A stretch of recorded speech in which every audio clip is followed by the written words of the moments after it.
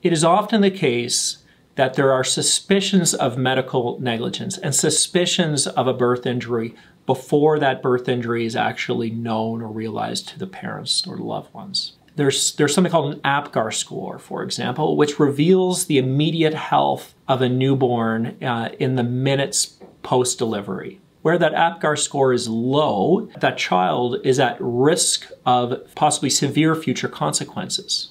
Parents of children who experience trauma during the, the labor process or who have low APGAR scores will be seen by medical professionals, or that child will be seen by medical professionals in the years that follow.